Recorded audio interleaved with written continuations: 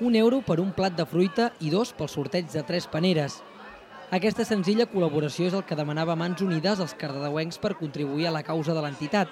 Aquesta és la setena edició de la Fruitada Solidària que enguany va compartir protagonisme amb les botigues que van sortir al carrer. I avui, bueno, aquest any, per primera vegada, coincidim amb la jornada que ha organitzat la UBC de les botigues al carrer i, bueno, de moment hi ha animació, forta animació. Es nota la crisi, però hi ha animació. Aquest any els diners que acostumen a rondar la xifra dels 1.000 euros es destinaran a un projecte de la Índia.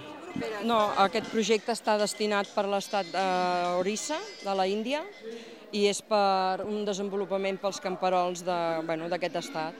És un dels mm, estats més retardats del país, alfabèticament. Mentre alguns membres de Mans Unides repartien la fruita, d'altres amenitzaven la tarda des de dalt de l'escenari. La Tuti i la seva guitarra van recordar els temes més populars del cançoner infantil.